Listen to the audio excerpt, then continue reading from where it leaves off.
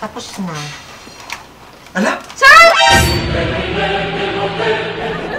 Parang may naamoy ako hindi maganda. Hindi ko nasabi sa'yo, wag. Ayaw niya. Oo, oh, kaya ko ng ilong. Tapos na, hindi nga niya naramdaman. Maganda yung paglalagay ng anesthesia sa ilong niya.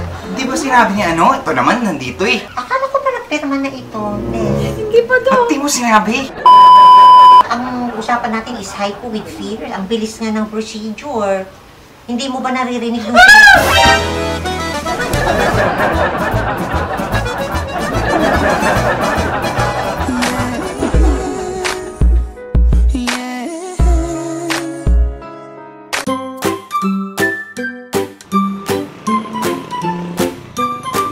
Ito kami ngayon sa Sabog. Sama ko sila yan.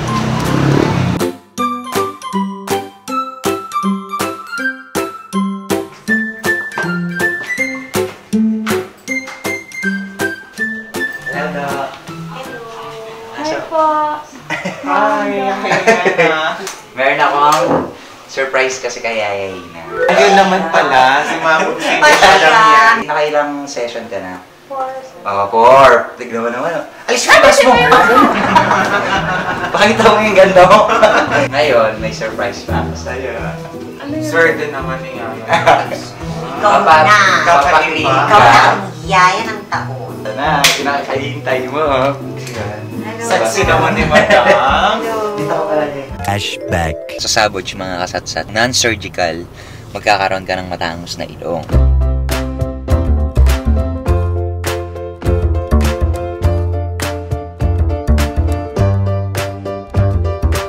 Apir mo na. Ipapaayos natin yung ilong mo.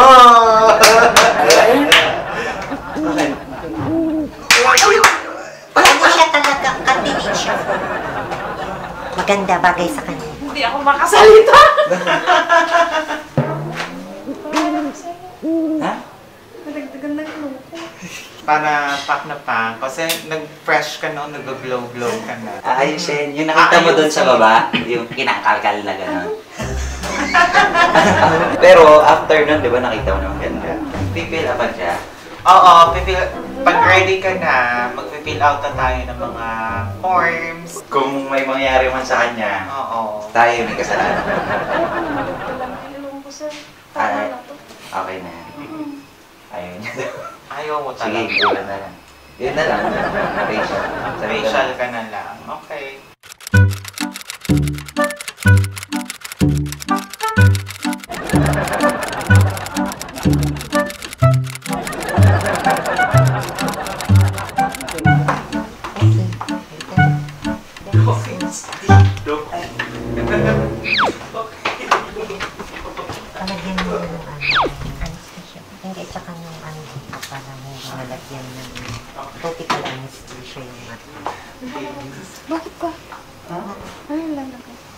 Palagyan yung ano para hindi malamang pumasok sa mata. Wala ako. Yan na yan na yan. Basain mo. Parang may naamoy ako hindi maganda. Okay, ano?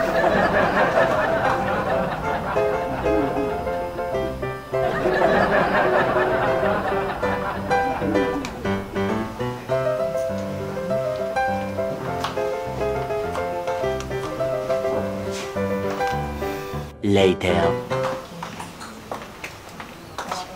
Okay. Chinap ng konti. Ba't it? Doc, Yes? bakit yung betadine? Ay, kailangan asepticalis ano tayo, clean. Hindi pa pwedeng medical lang. Kailangan surgical asepsis. Mag-aspirate na po ako, ha? Oo, chinap ng konti.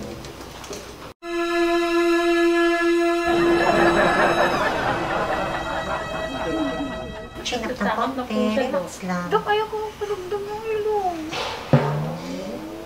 Amin na yung ano, micropore.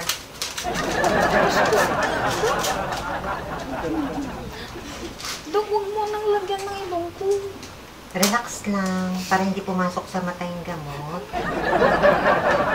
Ayoko ng ilong.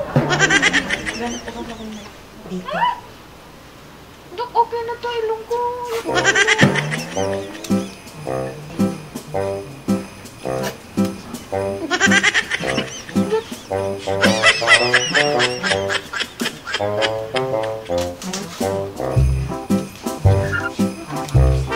Four moments later. Okay na mag-cleaning? Tapos na. Ala! Saan mo ilong? Ala, Dok! Hindi ko nasabi sa'yo, wag. Ayaw niya. Oo, Dok, ayaw ko ng ilong. Tapos na, hindi nga niya naramdaman. Maganda yung pagkalagay ng anesthesia sa ilong niya. Hindi ba sinabi niya ano? Ito naman, nandito eh. Akala ko pala pirma na ito, Des. Hindi pa, Dok. Ba't di mo sinabi? Tapos na ang procedure. alam ko, sa facial lang Bibigyan ko pa. na lang siya ng oral antibiotics. Sa di ba, magpipirma tayo. Kasi nagawa ko na siya ng prescription ano, for first antibiotics. Di ba sinabi ni Madam Sydney na Hindi. wag? Pumasok ko sa dito, tapos kung ano na daw. materials eh. Ito.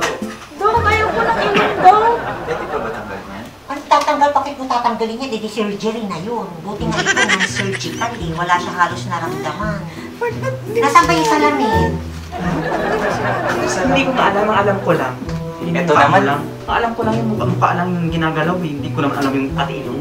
Eh bakit kanina, kanina, sasabi kanina- ako ng beta kanina eh, po. at saka anesthesia. Nara, naririnig mo naman yun, di ba? Oo, ma'am. Ba't di mo sinabi? Usapan natin is hypo with fever. Ang bilis nga ng procedure. Hindi mo ba naririnig yung...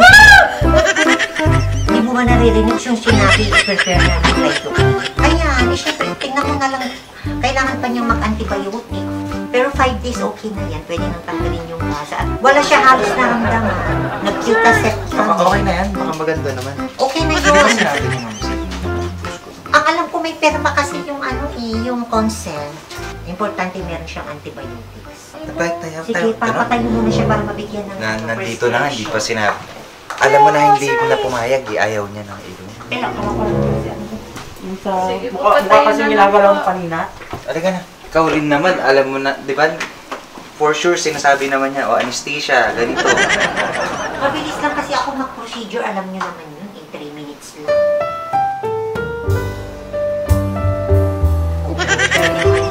Ay, mulan pa. Ayaw ko ng ilong, pa. Tatangos yung ilong mo yan. Hindi naman niya kasi sinabi na ayaw niyang ilong. Basta ang sabi lang niya Hindi, ayaw. sa akin niya sinabi kanina. eh. Wala si Doc kanina, di ba? Hindi ba si Doc kanina? Ano? Paano natin tatanggalin yan? Opera na yan. Ala, Diyos ko. Sige, kaya na ba? Teka, matatatawa. Sir, saan ako, sir? Sir! Ayaw pa rin niya magpagawa ng ilong. Hindi mo ba nasabi? Ala, di ko... Patient lang sabi ko eh. Mamayaw ko ng ilong. Wala. Ay, na, tapos na.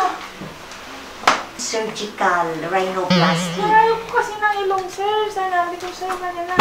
Hala. Ano Sabi ko, Anyways, lagyan na lang natin siya ng antibiotic. may iinumin ka yan. antibiotic. At saka 2 days lang naman yan. Namamaga. Oo, ah, saglit nga lang, at least instant na yung ilong mo. 3 minutes. Masakit hindi. Mamaya pa yan, makeup. Oo, di ba ang galing? Pero at least, Yaya, may ilong ka na. Yun namang mefenamic pwede niyong bilhin kahit saan. Pero itong antibiotic niya, libre naman yun. Every time na may Ano po kasi may consent. Han?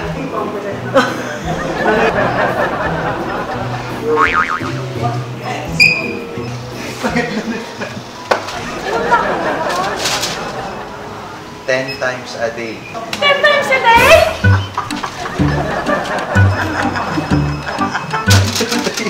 Ma-overdose na ako. Sunday to.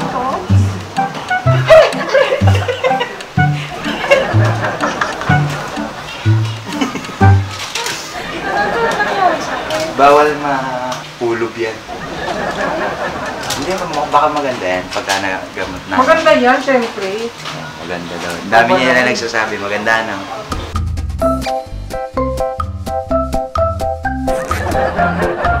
Ang malungkot ka. Di sir, hindi lang ako makahinga. Pero masaya ka naman. Oo naman sir. Many tic-tacs later. Pero tumaas ha, no? Mixing kit. Ang galing mo sir. Pwede ba itong tanggalin, ha? Pwede naman ba? Pwede ba tayo na? Pwede ditanggalin. Hmm? Kasi yung nag-ano dun. Baka maano, ma... ano yun? Infection. Ikaw naman talaga. At least maramdaman mo kung masakit o yun. Sa ano naman Sakit. sir, tinatanggal naman nila. Baka ma-infection to, ha, na? Sakit sa mga Sa skin